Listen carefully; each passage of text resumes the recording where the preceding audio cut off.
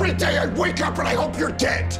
Dead like if I can guarantee Henry would be okay. I'd hope you'd get an illness and then get hit by a car and die. Because I want to help you. Because I want to be with... Help me? with What the fuck? What do I got? A fucking sign on my back that says save me? No. Do I look like I need that? No, God, I just want to be with Don't you because I love you. Don't bullshit me. Don't I you love you. fucking I love bullshit you. me.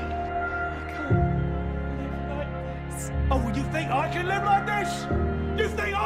think bloody enjoy living like this?